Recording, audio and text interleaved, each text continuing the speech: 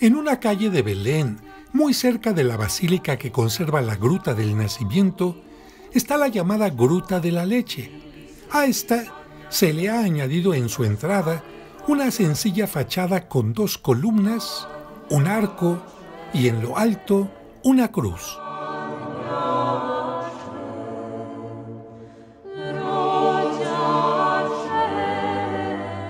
La tradición dice que en ella San José recibió el anuncio del ángel que le advirtió que tomara a la Virgen María y al niño y huyera, porque Herodes quería asesinar al recién nacido. Ese episodio está representado sobre este relieve del lado izquierdo. El arco está embellecido con motivos florales y en el relieve del lado opuesto se ve cómo José ha obedecido al ángel y huye con su familia a Egipto.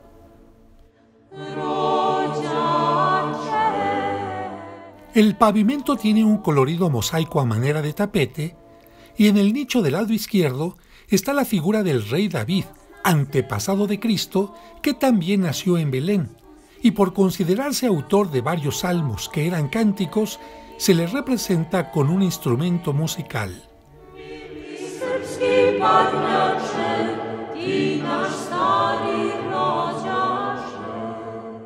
En el lado opuesto, el profeta Elías que, al igual que la Sagrada Familia, también tuvo que huir de la persecución de un rey, Ahab.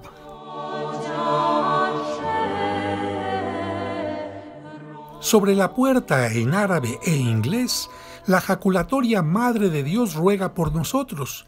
Recordemos que en Belén la lengua más hablada es el árabe por ser territorio palestino. La puerta es de bronce, en el lado izquierdo, en la parte alta, muestra la adoración de los Reyes Magos.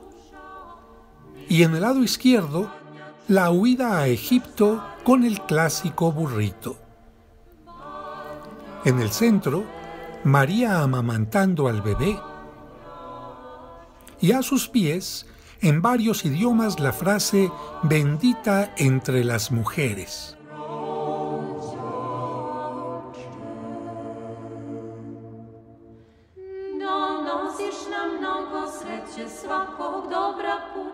Una escalera nos ayuda a descender y antes de llegar a la parte baja, embellece en el lugar la figura del Espíritu Santo, el escudo franciscano y una escultura con la Virgo Lactans que amamanta al niño.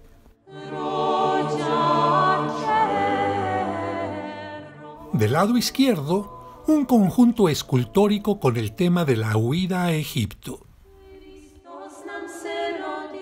Continuamos bajando y en esta parte vemos un altar que está decorado en su parte baja con misterios del rosario y la imagen del niño de Belén. Y en la parte posterior, otra imagen de la Virgo Lactans.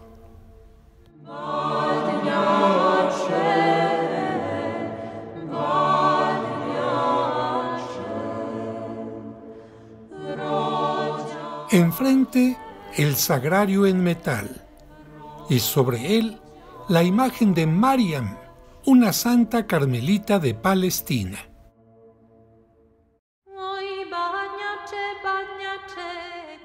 La gruta continúa hacia el fondo donde, según la tradición, la Virgen amamantó al niño Dios y donde una gota de su leche cayó al piso, haciendo que las piedras de la gruta tomaran un color blanquecino. En el lugar, la pintura de la Virgen de la Leche o Virgo Lactans.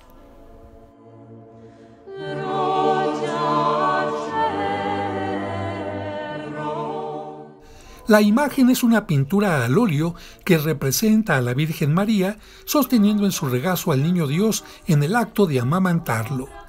Ella dirige su mirada cariñosa hacia él mientras que el niño parece observar al espectador. La imagen expresa claramente que María es la madre de Jesús, Dios y hombre. Muchas mujeres que no podían tener hijos y que se habían sometido a distintos procesos médicos afirman que, tomando polvo de la gruta, han podido concebir milagrosamente, y yo puedo afirmar que por lo menos en mis peregrinaciones se han dado dos casos.